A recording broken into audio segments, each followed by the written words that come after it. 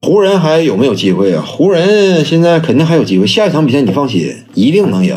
这场比赛我感觉裁判是有所收敛了，裁判上来是吹的，吹的是波普波特，让他俩身背大量犯规麻烦，以为这样做就足够了，足够值得湖人赢，结果湖人没赢，因为你要上来就吹约奇两次犯规啊。太明目张胆了，那那你这么整的话，那舆论估计也不可控了。但下一场比赛你记住啊，一定这样的。下一场比赛湖人队他肯定提前也心里做好准备，就是打约奇，约奇打不到四分钟，三四分钟就得两犯。